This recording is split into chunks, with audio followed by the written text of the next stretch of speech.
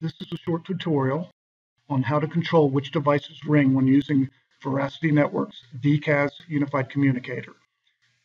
You can have it set up so that your desk phone rings, your computer rings as a soft phone, your tablet rings, and your cell phone rings.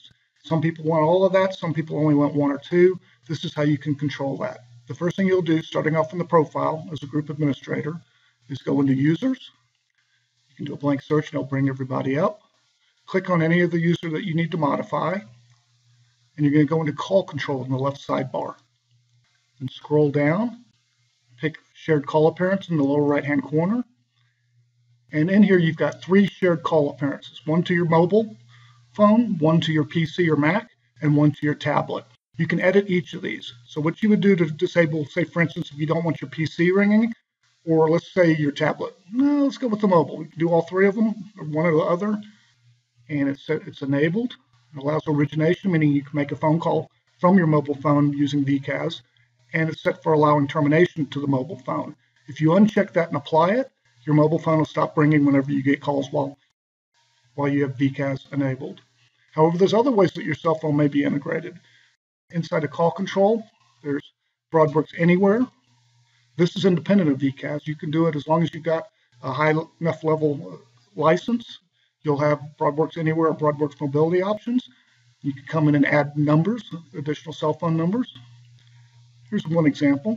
This is set to a fake number, and it's set as not being enabled. You can enable it so that if you get a call to your desk phone, it went to, to this cell phone number also, kind of like a simultaneous ring. You just enable it and apply it. BroadWorks Mobility, you do want this one enabled if you're using VCaaS so that you can make outbound calls from your, your cell phone, assuming you even want to make outbound calls from your cell phone. Uh, you'll have to have your number registered with us and then it'll be in the drop-down list. And you can control whether it's on or off, whether only your fixed phone, which is the phone on your desk, rings, your mobile, or both. You do that right here with uh, BroadWorks Mobility. Um, sometimes there's individual and group settings that might override on a case-by-case basis. Uh, I would suggest uh, making sure it's set for the uh, use user settings. And then again, originations is outbound, terminations is inbound. Clicking apply if you make changes. The other places you might have some cell phone integration set up is in incoming calls. It could be, for instance, call forwarding always could be set up to always forward all of your calls to your cell phone, your home phone, wherever. And over here, you've got simultaneous ring. This is a popular one. It's nice and simple, where you can come in here and have it simultaneously ring a coworker, your home, your second office, uh, your cell phone, another extension.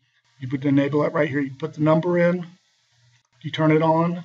You can set it so whether or not it simultaneously rings both numbers if you're already on a call.